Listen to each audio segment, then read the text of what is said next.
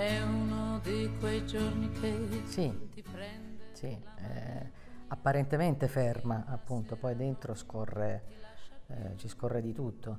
Ma mh, grazie all'ar minuta lei si aprirà un po' e capirà che quella, che quella ragazza lì è, è, è riscatto, probabilmente, la sua eh, fragilissima voglia di vivere probabilmente, non dico che riesploderà, ma farà capolino da qualche parte. Vanessa a volte si dice così per dire l'attore dà corpo al personaggio, ma lei l'ha dato in una maniera secondo me straordinaria.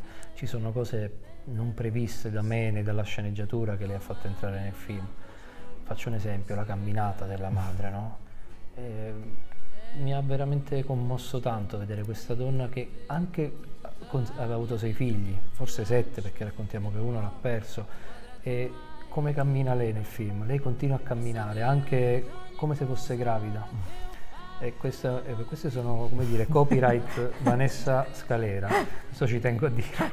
Ma insomma è uno delle tante, delle tante, dei tanti doni che ha fatto dando corpo a questo personaggio. Sono i tuoi veri genitori. Ti vogliono bene, ti aspettavano. Sono qui perché mia madre sta male ma lei non sa come sta. Non lo faccio più.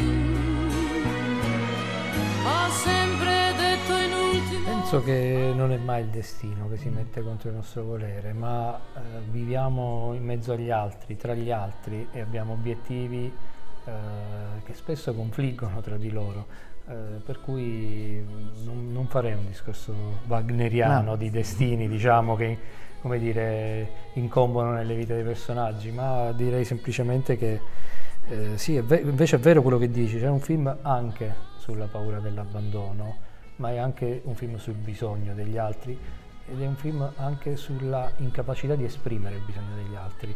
Ci, eh, per me, eh, parlo da spettatore, mi astraggo da regista, i momenti più intensi del film sono i momenti in cui i personaggi anche solo per un attimo si sfiorano, si toccano e lì eh, proprio per la natura di tutti loro di esprimere, di avere un lessico degli affetti, nel momento in cui questo avviene è deflagrante naturalmente.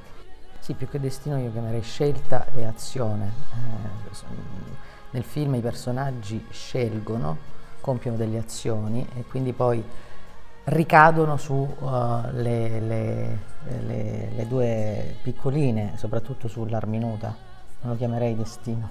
Ecco, forse preciso meglio la cosa, la cosa che si avvicina di più a quello che tu chiami destino, ma non è quello.